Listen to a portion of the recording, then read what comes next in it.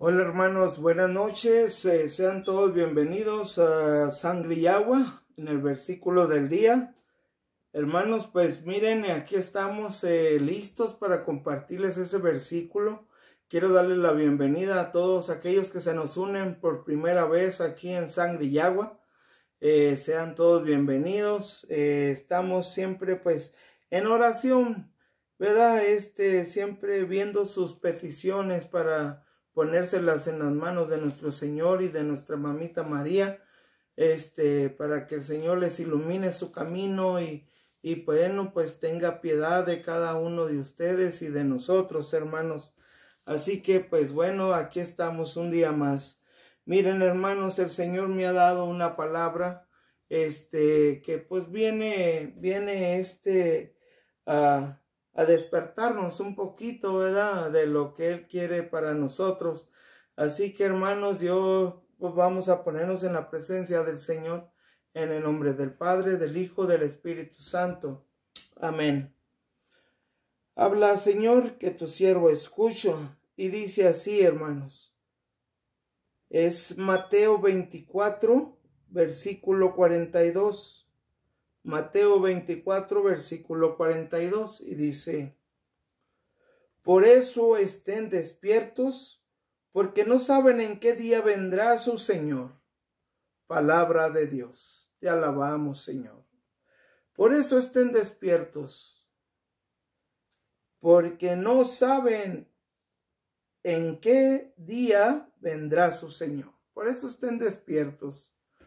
Y el Señor pues nos dice, ¿verdad? Que, que estemos despiertos.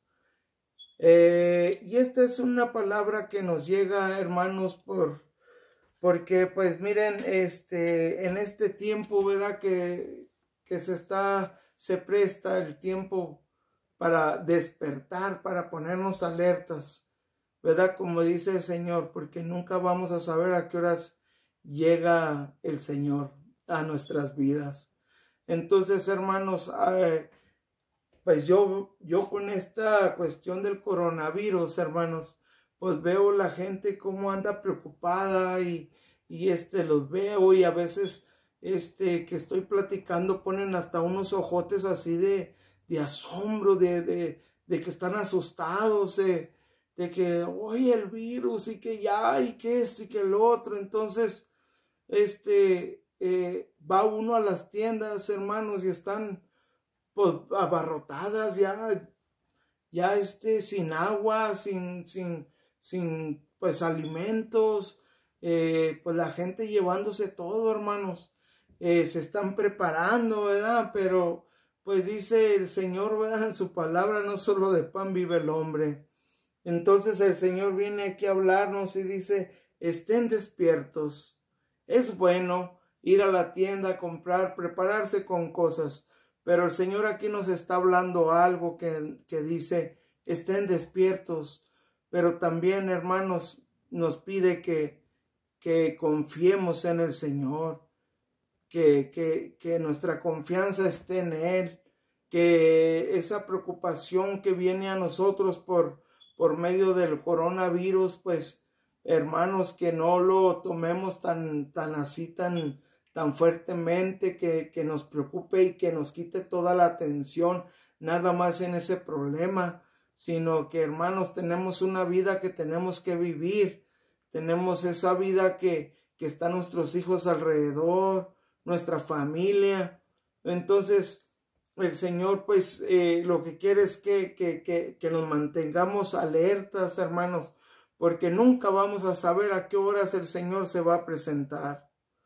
No sabemos, hermanos, si, si, si, si un, ¿verdad? Pues eh, uno que más quisiera, ¿verdad? Que no pasara, pero si llegara uno, hermanos, a tener ese contagio, ¿verdad? Pues de perdis, estar preparados con el Señor, hermanos, de limpiar nuestra alma, nuestro corazón, eh, estar en, en, en, oración, hermanos, pedir por, por, por esa enfermedad, ¿verdad? De que se aleje, que se vaya, que, que, que el Señor pues este eh, llegue, llegue eh, pues a nuestras vidas. Y, de qué manera, hermanos, orando con el Señor. Y muchas veces las preocupaciones del coronavirus, hermano, nos quita de, de, de, de, esa, de ese llamado que tenemos. Ese llamado que es la oración, hermanos. Porque por medio de la oración es que el Señor se manifiesta, hermanos. Pero nosotros no lo hacemos, no lo llevamos a cabo porque nos enfocamos tanto en el problema que hay que, que, que dejamos de hacer oración o, o, no prestamos atención a las cosas de Dios porque creemos que siempre vamos a estar aquí en el mundo, hermanos. Y, y un día quizá pues se nos presente estar frente al Señor. ¿Y de qué manera vamos a llegar hacia Él? ¿Cómo vamos a llegar ante el Señor?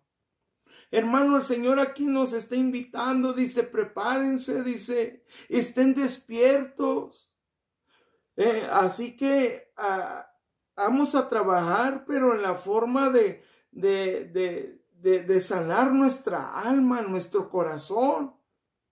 Por si vamos algún día hacia el lado de nuestro Señor, pues que vayamos más limpios, que vayamos preparados, como dice el Señor, porque nunca sabemos a qué hora nos vamos a enfrentar a Él, hermanos.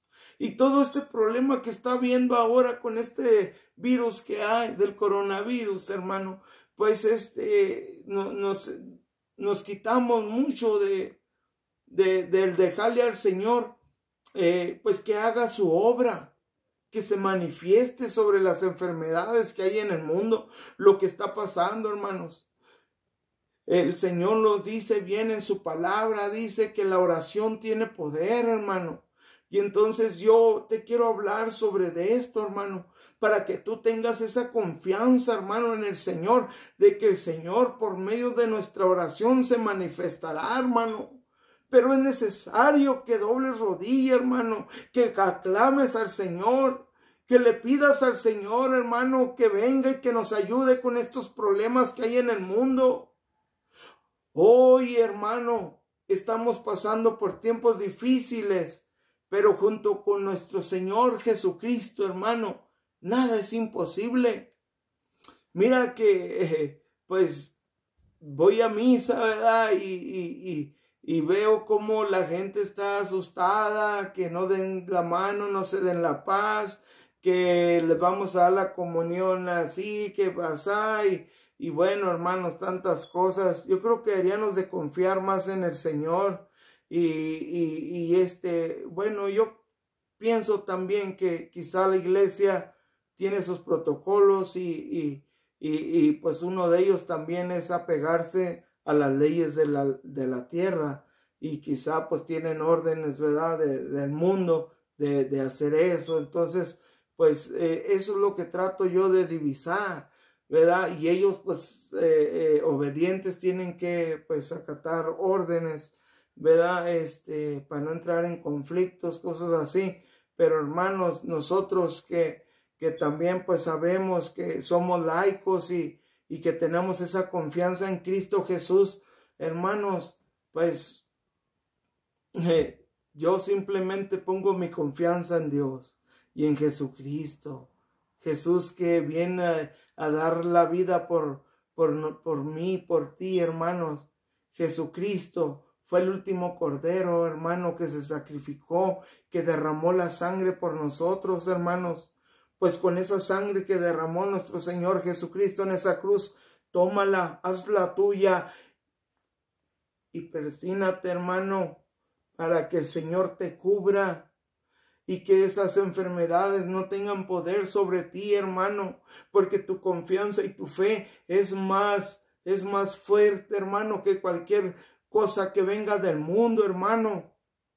Porque así sea que, que, que nos dé o no nos dé, hermanos, pero estar preparados para estar frente a nuestro Señor, hermano, para que nuestra alma descanse por toda la eternidad junto a nuestro Señor Jesucristo, hermanos. Así que yo te animo, hermano, y te eh, exhorto a que doble rodilla, hermano, y a que empieces a orar para que todo esto, hermano, eh, eh, pues se vaya disipando, se vaya quitando a través de tu oración. Así que, hermano, ánimo, ánimo, hermano. Tus hijos te necesitan, hermano. Así que dobla rodilla y órale al Señor. Y prepara tu alma, prepara tu corazón, hermano, porque nunca sabemos cuándo va a venir el Señor. Así que yo les mando un saludo y un abrazo a cada uno de ustedes, hermanos, que nuestra Madre Santísima, la Virgen María y nuestro Señor Jesucristo, hermanos, cubran tu hogar, que sean ellos quienes estén en tu hogar, que esa preocupación se aleje, se vaya y que la paz de Cristo vaya y habite a tu hogar, que la paz de Cristo esté en ti, en cada uno de tus hijos, hermano. Olvídate de la preocupación, olvídate de eso y cree en Jesucristo. Jesús tiene poder, su sangre tiene poder. Así que ánimo hermano, que Dios me les bendiga en el nombre del Padre, del Hijo, del Espíritu Santo. Amén.